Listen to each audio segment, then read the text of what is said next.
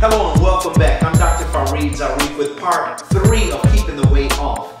Now we talked about in part two that exercise is a very important part. But exercise doesn't mean just the traditional jumping jacks or squat thrust and so forth. It means that you can actually move in any way that you like.